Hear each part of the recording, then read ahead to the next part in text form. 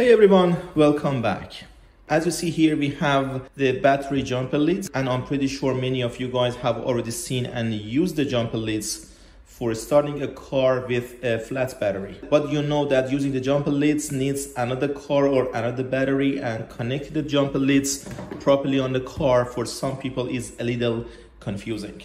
I always have a set of jumper leads in my car, but I really wanted to get a good jumper starter to use it in case of emergency without needing any other vehicle. That's why I got this jumper starter from GOOLOO. It's GT4000. I got this one because it's much easier to start the car with this jumper starter. I can use it for some other purposes as well. And of course, this is going to be very helpful for me when I visit some customers outside of the workshop. So I don't need to take the workshop booster pack with myself when we have a customer with dead battery outside and I don't need to park my car head to head with the customer's cars because sometimes there's not enough room to park another car right there. So this is going to be very helpful in that case as well. So we're going to unpack this one first, then we go for checking it on the car. In addition to this one, I got a tire inflator from the same brand. We're going to unpack and try this one too. Before starting the video, if you guys haven't subscribed the channel yet, please don't forget to subscribe. And if you're interested, you can find the link to our online courses in the video description. All right, let's start unpacking the jump starter first. For any of these two devices, if you guys are interested, you can find the link to these products in the video description. So here is the jump starter itself. I had a couple of different jump starters before, but quality wise, I can tell this one is very different from what I had before. So this is a jump starter. I have a user manual here and inside the box there is a carrying bag. I have the clamps over here which I can tell the quality is very different from anything else I've seen before. So the quality of these clamps are, as you see, really good. I have the charger cable if you want to charge the jumper starter in the car. Female connector if you want to charge anything else, you can connect this one to the jumper starter and charge any devices that you want from this female connector. And USB cables for charging the device. Let's have a look at the jumper starter itself. So if you look at the back, you see the specifications right here. This one that we are looking at is GT4000. The starting current is 800 amp and the peak current is 4000. Right here you have the input and outputs. This is the output for the clamps and a couple of other ports for charging the other components or for charging the jumper starter itself. So everything is just mentioned right here. There is a display in here. The previous models that I had, they didn't have a display or they had very small display. By pressing the power button once, you can see how much of the charge of this jumper starter left. So 75%, we can charge it of course later on. And the boost button that you see here is actually for starting a car with a dead battery. So when you want to start a car with a dead battery, you just need to press and hold the boost button in here and as you see the red turns on continuously. This means that we can start the car with a dead battery. We're gonna have the maximum power from this jumper starter right now to start that car. There's a light in here that if I press and hold the power button this is gonna turn on. Really nice flashlight. If I press it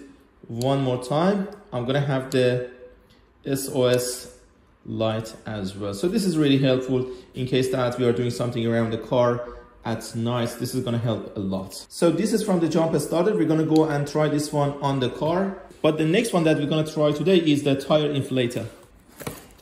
Again, I used to have a tire inflator in my car, but this one is very gorgeous. The size is very good, the design is really nice. So when you press the power button once, you see charge left on this tire inflator. And you press it longer than two seconds, this is gonna turn on. This is the pressure of the tire, this is the set pressure of the tire inflator. This one is actually for the cars right now, but if I press this one one more time, it's gonna go on the motorbikes, on the bikes, on the balls, and here is when you can save your favorites. And if I press and hold the button, I can adjust the units. It's on PSI, now it's on the bar, kPa, and kilogram on square centimeter. And of course, I can change the value by these two as well, based on the tire pressure that you want. For example, if you want 32 PSI, you can save it on this. Even on this one, there is a light up here. So if I press this one, this light is gonna come on that we can use it when necessary. And right now, if I press this one, the inflator starts working. Inside the pack, I have a carry bag for the inflator. I have the air hose that should be connected up here. There's a user manual, charging cable, and a couple of different nozzles and adapters for different applications. Enough talking here, let's go on the car. We're gonna try the jump starter first, then we go for trying this tire inflator to see how it works. So right now in this car, we're gonna try the jump starter. So first of all, we're gonna insert this cable right here. So there is no way you cannot insert this one in a wrong way because of the shape. So it goes only in one direction. And then we connect the positive and negative right there. Could be some occasions that we connect the positive and negative clamps incorrectly. If you do that, let's see what's gonna happen. If I put the positive here on the negative and negative on the positive, as you see, jump starter is going to start beeping with that sign to show me that I have connected in incorrect polarity. So I'm going to go for connecting in proper order, positive here, and negative on the negative. So everything is ready. Just make sure you put this one somewhere nice and secure. Right now we can go for starting the car.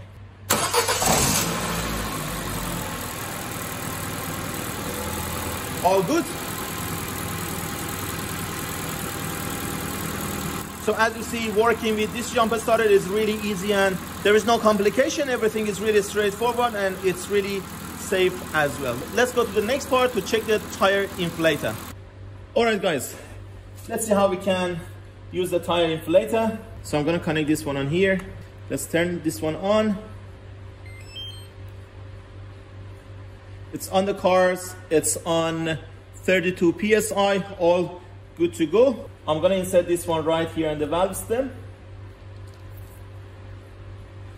So as you see, the pressure reading is 21 PSI, is way less than what we need. Let's try it and see how long it's gonna take for this one to inflate the tire.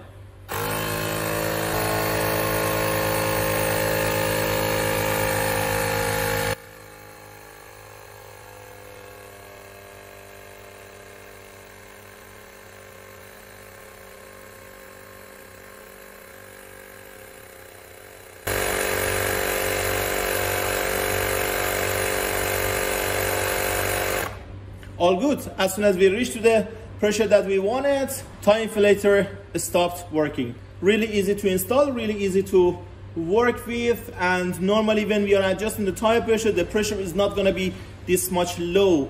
Most of the time when we are adjusting tire pressure, we're gonna see that the tire pressure is around 29 or 30 PSI, so it's gonna take less, less time. But right now on this tire, the tire pressure was too low, so that's why it took a little longer. Alright guys, thank you very much for watching. As you saw, working with these two devices was really easy and straightforward. I hope you guys enjoyed the video. Please don't forget to check the channel for many diagnostic video that we have. And for supporting us, please don't forget to like the video and share it with your friends.